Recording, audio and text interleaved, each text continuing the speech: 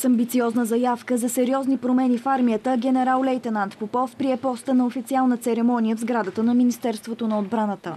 Поемайки тази длъжност от ръцете на вице-адмирал Николов, аз съм с ясното и пълно разбиране за сериозните отговорности, за предизвикателствата, които ни предстоят, като основното, върху което смятам, че ще се съсредоточиме всички заедно, като един екип в градежа наречен храм на българската армия, това ще бъде отношението ни към хората, към личния състав, изстигане престижа на българския войник, сержант и офицер. Безспорно, служба ударена от мен, като съм спазвал винаги чест, достоинство при изпълнението на ангажиментите си в името на България.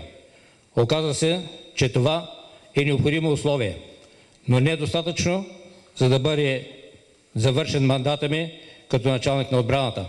Искам да приветствам генерал-лейтенант Константин Попов със стъпването му в длъжност на началник на отбраната. Аз съм убеден в неговия висок професионализъм, който ще отговори на очакванията, които имат ръководството на Министерството на отбраната и командния състав на българската армия.